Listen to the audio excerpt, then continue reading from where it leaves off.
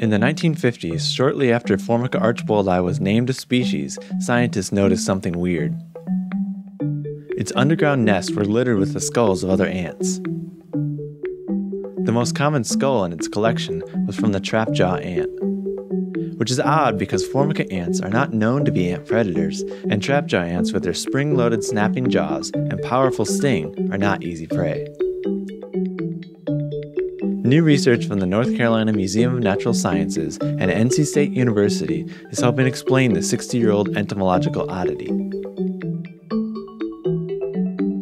A comparison of the ant's attack strategies to similar species revealed Formica archboldi as a specialized predator through its formic acid spray. Acid sprayed trapjaw ants were completely immobilized.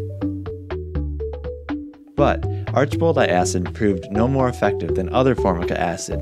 Archboldi were just more effective acid sprayers.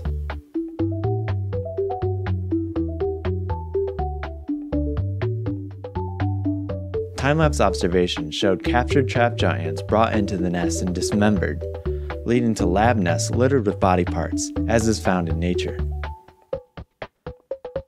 And, across Florida, archboldi chemically mimic the native trapjaw ant species they occur with, suggesting a long evolutionary history of the species interaction. Florida's skull collecting ant is proving to be a scientifically interesting species, promising evolutionary insights from continued study of its behavioral and chemical uniqueness.